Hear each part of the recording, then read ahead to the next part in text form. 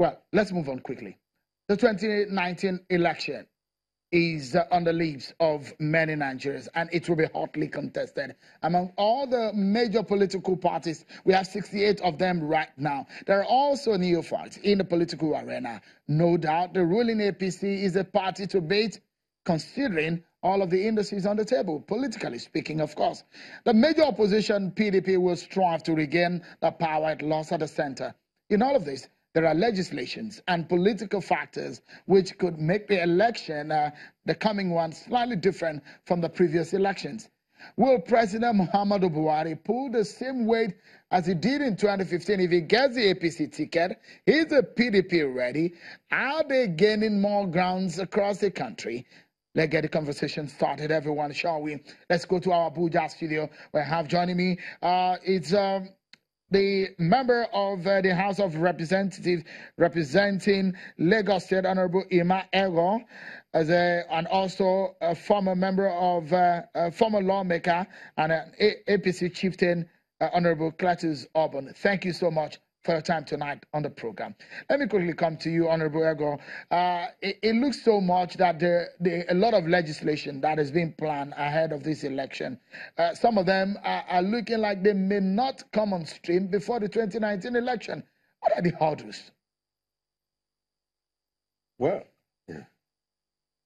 well, I, I think I think that uh, legislation that's been done by the uh, House of Rep, the National Assembly, and the Senate today uh, most of them have passed through the amendment to the Electoral Act. You know, we are finished with it, Senate are finished with it, and it's begun to the presidency. And I'm, I'm, very certain the president will sign it because it is intended to make uh, the 2019 election to be freer and fairer and to ensure that the, the results are acceptable to everybody. And uh, one of the key things we've done is to make card reader the candidate so that uh, card reader be, will be the majority that will be used and uh, we don't have to resort to uh, say Canada is not good. We begin to use other incident form, which leads to rigging. So I, I, th I think those legislature would go through before then, uh, because I'm hopeful that the president will sign them. You know, that is the position now. As a politician, uh, what do you think will happen in 2019? Do you think that your party is pulling the right weight to be able to return to the center? Yeah, I, I think the PDP is the party to, to beat. We've seen it in Kaduna, which is uh, supposed to be an APC state. Uh, for the first time in the state, you see an opposition, you know, winning massively uh, local government election. It happened in Kaduna, and the PDP were the winner.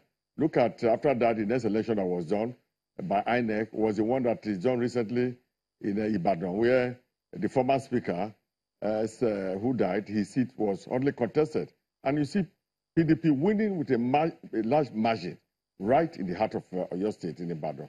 So when you look at those recent uh, uh, elections, you will know that PDP is uh, the party to beat. Look at the election just done in River State now. PDP took all the seats, took basically all the councillors. So, uh, and besides that, PDP has become very well organized. They finished their Congress, PDP settled.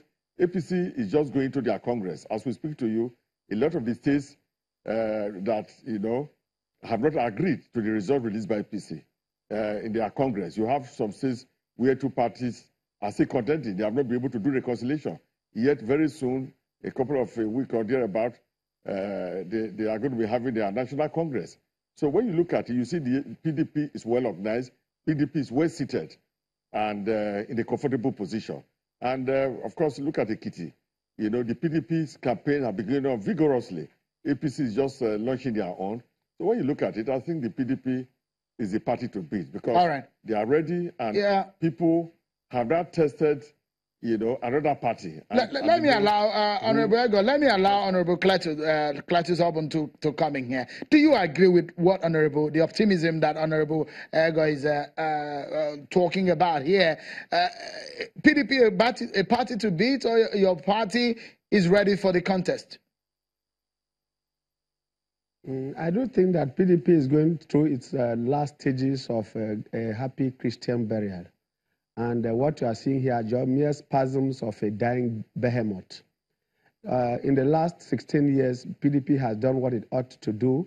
And to be beaten while on the sudden, and then imagining that you can now resurrect suddenly, uh, is to play the Christ, and I think this is a, a mission impossible. Clearly, uh, APC is only demonstrating its uh, democratic credentials when it is allowing. I'm happy that he is now happy to announce that in the PDP state, in an APC state, PDP is winning some seats, and in PDP state, PDP is winning 100%. It only shows back to where we are that people want to return to Egypt and continue to eat their cucumber, but those who want to go to the promised land know that you have to pass through the desert. So the desert of APC is far more promising and gives Nigerians more hope about right. what is to come. Okay. Therefore, what APC is doing let, let me pause you quickly, Honorable Obun, because we need to take this break. But when we come back, when we look at the 2019 contest, it looks to me that's going to be a very interesting one. And we look at the dynamics when we return from this break, everyone. Join us again.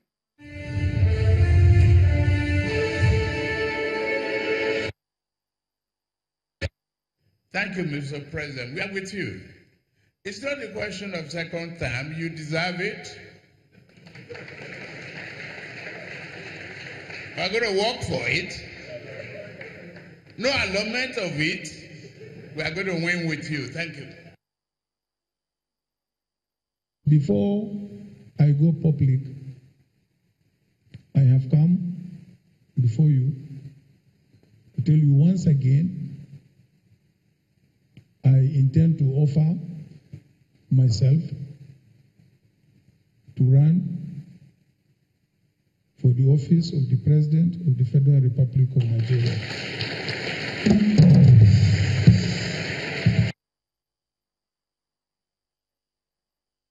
Fellow Nigerians, with love for our country and a fierce commitment to a vision of rapid progress for our more than 180 million citizens.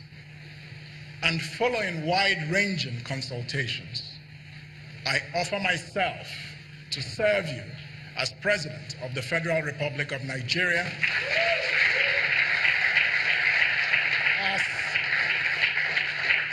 as from May 29, 2019. I therefore intend to be a candidate in the 2019 presidential election. He seems to be very confident about you winning 2019 election. I don't see anybody else who can win against the Nigerian people. And I think at this point, the Nigerian people have said enough is enough. They don't want the old guys, they don't want the corrupt guys, they don't want the competent leaders we have had, they don't want the looters, and they don't want the people who have destroyed their future to continue to be in charge of their destiny. If you stand in election with Buhari today, you will win. I don't think Buhari will be confident enough to stand against me in an election because he certainly knows he will only win six states. I don't want to count them because we don't have time. We are going to win with over 40 million votes. And Buhari will be trailing behind me with about 7 million if he's lucky.